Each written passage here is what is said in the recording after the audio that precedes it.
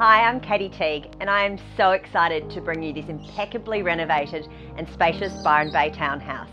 Tucked away in this private, family friendly, and convenient part of town, you're going to just fall in love with its views directly onto the Byron Bay Golf Course.